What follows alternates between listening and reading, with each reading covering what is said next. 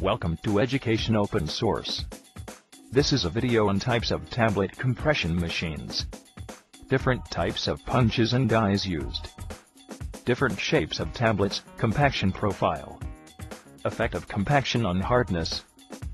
And friability and lamination of tablets. As discussed earlier. This presentation consists of different types of tablet compression machines. Types of punches and dies used. Different shapes of tablets. Compaction profile, effect of compaction on hardness. Friability and lamination of tablets. Let us start with defining what a tablet is. Tablet is a unit dosage form.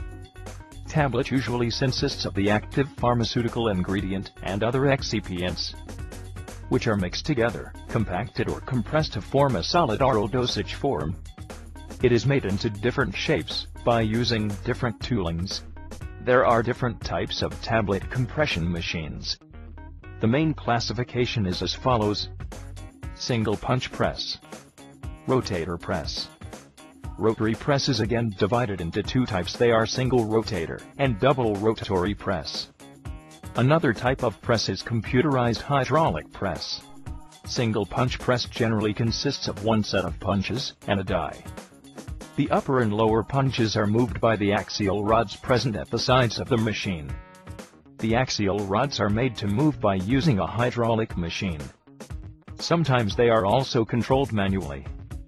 The amount of powder filled depends on the position of the lower punch.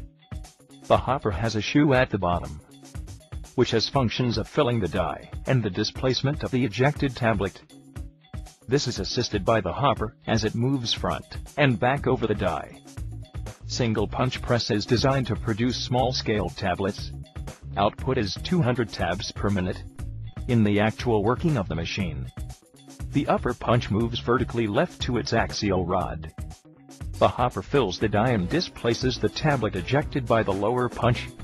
Let us now discuss about rotary press. As the name indicates this press works on the principle of rotation of dies and punches, Rotary press consists number of sets of punches and dies, which rotate all around the platform. The number of punches may vary accordingly. Here the movement of the upper and lower punches are controlled by the cams and tracks. Rollers are also present for the purpose of pre-compression and compression. There are two types of rotary machines. They are single rotary and double rotary. The main difference between them is the number of hoppers and the output. In single rotary press only one hopper is present and the tablet comes out only after one complete rotation of the platform. In double rotary there are two hoppers and the tablet comes out when the platform completes half revolution. In a rotary punching machine, upper, lower punches and dies keeps moving. The hopper feeds the powder into the dies, and a weight control unit is present to vary the weight of the powder fed into the die. The pre-compression roller performs the pre-compression to avoid the manufacturing defects such as lamination. After that the main compression rollers compresses the tablet. The tablet is then ejected out. The scrapper removes the excess powder on the die. This is designed to increase the output of the tablets. Let us go further to discuss about computerized hydraulic press. This is designed to simulate the working conditions of tablet manufacturing. It consists of the same machinery as in rotator press which is attached to a computer panel. Here the movement of the punches can be controlled. Thus the tablet can be manufactured in a controlled condition. The loading patterns, or the punch movement profiles can be simulated. But both cannot be done at a time. This is important in predicting the scale-up problems, and for this reason this is also called as compaction simulator. Let us now discuss about international standards of tooling. Coming to these standards, there are three standards for tooling. They are D tooling, B tooling, and BB tooling. These standards differ in the diameter and punch body. In D tooling the punch body is 25.35 mm, and the diameter is 38.10 mm. In B tooling the punch body is 19 mm, and the diameter is 30.16 mm. In BB tooling the punch body is 19 mm, and the diameter is 24 mm. Coming to the punches and dies. there are different types of punches and dies.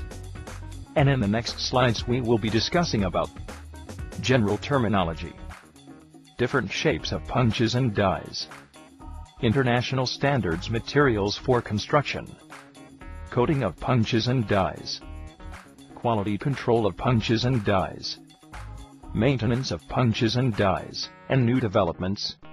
Generally speaking, there are two main things, which are the punches and dies. In every tablet machine these are the basic things seen. In this image we can see the upper punch, lower punch, and the die. Now, let us discuss different shapes of tablets. Tablets are available in many shapes. The main reason for preparing these different shapes is the release pattern of the drug. They are prepared in spherical, rhombus, hexagonal, capsule, rod, and other shapes. These shapes are obtained by using different shapes of punches and dies. Coming to the round shape punch die set. These are used by pharmaceutical and veterinary industry. Round shape punch die sets are used to manufacture shallow concave ball shape, deep concave flat faced, concave with edges flat with bevel edges, and finally normal concave shaped tablets. Oval-shaped punch die sets are used in pharmaceutical and Ayurvedic industries. These are used to manufacture flat-faced flat with bevel edges and concave with bevel edge tablets. Capsule-shaped punch die sets are also applicable to pharmaceutical and Ayurvedic industries. They can manufacture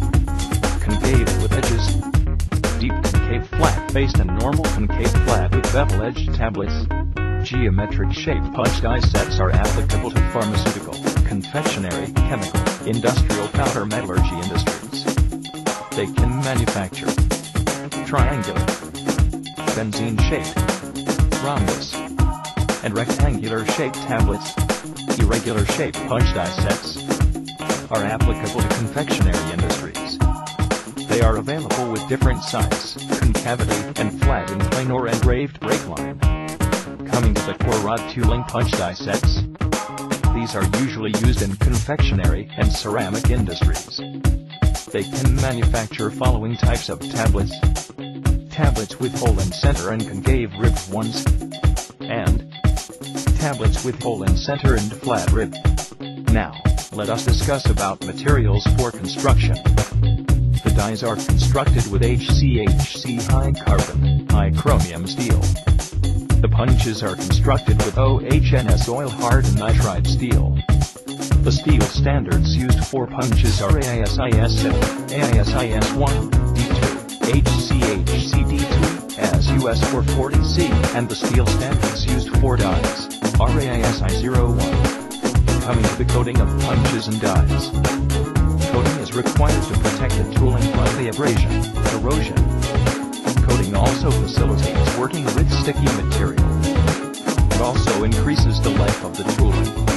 Different types of coatings are used to coat these toolings. They are titanium nitride coating, electroless nickel plating, DNA, chromium nitride coating, CRN, chromium carbon nitride, CRCN coating, diamond coating of diamond, like carbon, DLC, CRCRN, CR multilayer coating, nano coating. Among these the last two types are expensive. Here are the specifications of different coatings used. The color imparted, the hardness, and other things are mentioned here.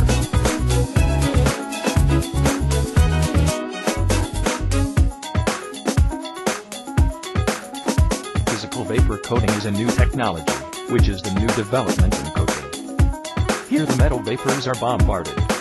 Let us discuss about quality control of punches and dies. Visual inspection and dimensional inspection should be done both for punches and dies. For punches the overall length, working length, cup depth, tips, barrel concentricity, head, head flat and neck are thoroughly checked.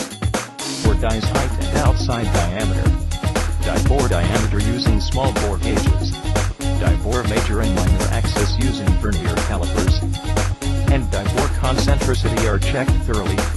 It is required to maintain the punches and dies in order to improve their lifespan. They can be properly maintained by fitting them according to the instructions given in the manual. cleaning them with warm water and soap solution. They should not be touched with bare fingers. And to prevent corrosion they should be coated with acid-free oil. Tooling should be thoroughly checked.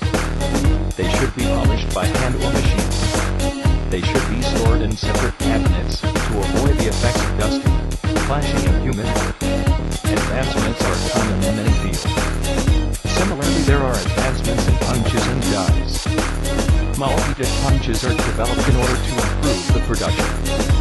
Tablets prepared by these punches can be broken into formats. Compaction profile is nothing but the plot drawn between the average hardness on y-axis and average compaction pressure on x-axis. This helps in comparing different formulations. Here is an example of compaction profile of two different dosage forms. The hardness of these formulations vary according to the compaction pressure. Let us discuss effect of compaction on strength of tablet. Hardness of the tablet depends on weight of the material and the space between the upper and lower punch at the moment of compression. As the distance between the punches varies from time to time the hardness also varies. Let us now discuss about effect of compaction on friability of tablet. This is a problem which arises when the punches are in poor condition. If their edges are worn out it leads to the production of deformed tablets which ultimately increases the friability. Also the less compression force leads to friability, because of the weak binding of the particles. And finally, about the effect of compaction on lamination of tablet. This is mainly due to the rapid decompression after the ejection of the tablet. This can be prevented by using the tapered, blunt dies. Before the actual compression pre-compression also prevents the lamination of the tablet. This is the end of this video. Thanks for listening.